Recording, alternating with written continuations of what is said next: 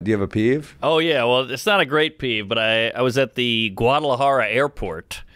And I'm the token honky, you know. I'm the guy like, oh, where do I go? I don't Decent speak airport? Spanish.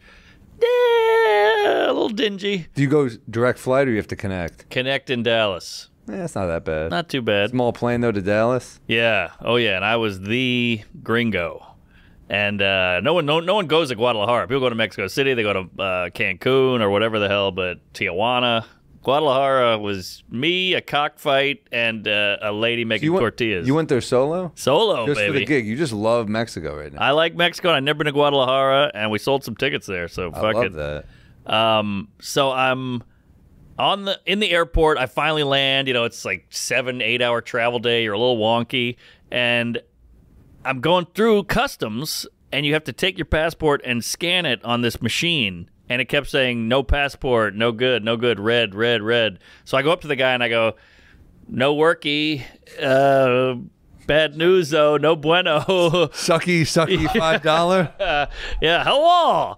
So he was like, scan, scan, scano, and I was like, I scanned, I scanned, but there's you know, there's no there's no language, there's a barrier. So I go, look, scan, scan. He goes, scan it, scan it. He keeps yelling at me, and I'm like, it's not working. And then eventually he takes it, and it doesn't work, and he goes, you got to go over there.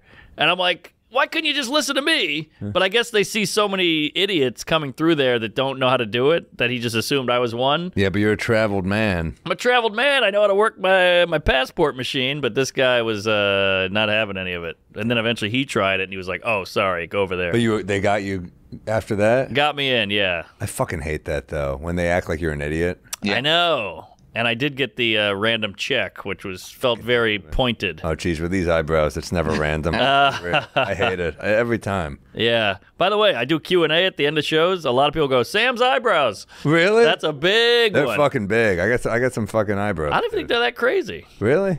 They're pretty big. I guess they're long. Yeah, I just get. You know what I get is they don't even ask if I'm at the barber now. They don't even ask. I just go.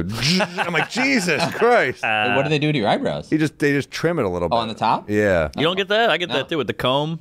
yeah. They hit the comb on and then they trim. They on used to at least ask. They don't ask. Ah. Like, that, that's, that could be a bad sign.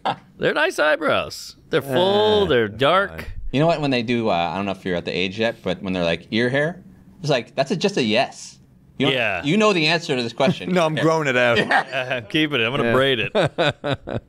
but yeah, Mexico. So I do a show in Guadalajara. Killer crowd, great show. They get everything. You know, you can talk about Biden, you talk about uh, Brad Pitt, Taylor Swift, whatever it is. They they Is get it all of it. locals or expats? Both, a little of both. You get some people who are like, I want to learn, see if I can test my English. You know. Yeah. Um, and then I leave. I'm walking down the street, kind of half in the bag, just taking in Guadalajara. And uh, this guy runs up on me, white guy, and he goes, Hey, hey, hey, hey, where you going? I go, I'm just walking around. He goes, I was at the show. You want to come to my bar and hang out? I was like, Sure, I got nothing to do. So I go to this guy. This guy from San Francisco. Be great if you're just in like the bottom. It's like Pulp Fiction. Gimp in there. You're like, oh fuck. Yeah. He locks the door. Now you're mine. I'm gonna get medieval on his ass. so I go to this guy's bar. Lived in Berkeley. Yeah. Got too weird during COVID. Said I'm moving to Guadalajara. Started his own business. Now he's like, I'm the king out here. I get laid all the time. I got my own bar, my own business. I'm a rich man. I'm never going back. How old is he? 25. Holy shit. Can you believe that? He's making money there. He's making a ton of money because he owns a business Oh. right on the strip too. I was like, "How did you do this?" He's like, "I just was desperate. I figured it out. I put it together. Crazy, And he was cool. cool dude." Uh, he uh, offered me some blow, and I was like, "Ah, I gotta go. I gotta go." And then I get home and I got like nine million DMs, like, "You should have come out, man. Hey, it's pretty crazy out here. I'm in a nightclub right now. I'm with six girls. You should have come out." I was like, "I did the right thing." Yeah. But nice guy. did. I hope he doesn't hear this. Yeah, whatever. What What were you drinking? Uh, I was out there. I had to do tequila. Yeah. Tequila's from Guadalajara. Mariachi's from Guadalajara. Mari- Guadalajara is like Mexico. It's like it's like if you, someone dropped you in Kentucky, and you're like, "This is America." Trump flags and and uh, guns. That's what it felt like. It felt like Mexico. Damn. But great, great time. Cheap as shit. You're like a king out there. I'm eating street tacos. I'm like, yeah, give me another one there, Paco. I'm giving him, giving him twos and threes, and he's like, whoa, Jesus. I gotta I gotta do Mexico, man. It's fun. It's it's going. got some grit. I wonder if I can move some tickets. I'm, I'm gonna give it a shot.